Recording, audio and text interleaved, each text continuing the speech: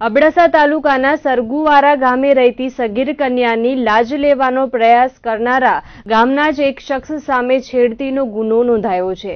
તો છેડતીનો ભોગ બનેલી સગીરાની પૂછપરછમાં ત્રણેક માસ અગાઉ બળાત્કાર થયો હોવાનું જણાવ્યું હતું.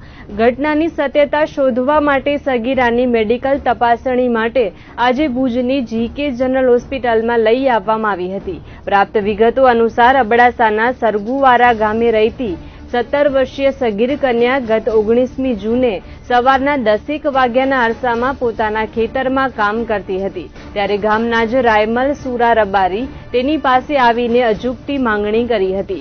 જો કે સગીરાએ રાડારાડ કરતા તેની માતા દોડી આવતા રાયમલ રબારી નામનો શખ્સ ત્યાંથી નાસી છૂટ્યો હતો. સગીરાની માતાએ સમાજના અગ્રણીઓને સમગ્ર મામલાની જાણ કરી હતી અને સમાધાનનો વાટાઘાટો ચાલ્યો હતો. પરંતુ સમાધાન ન થતા સગીરાના માતાએ નલિયા પોલીસ મથકે આરોપી સામે છેડતીની કલમ તળે ફોજદારી ફરિયાદ નોંધાવી હતી.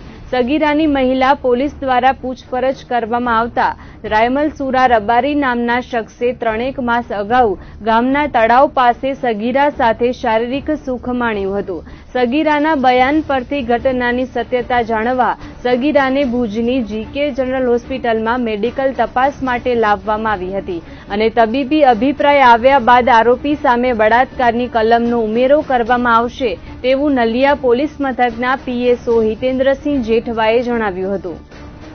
બનાવ બન્યો છે બે પાંચ મહિના પહેલાં.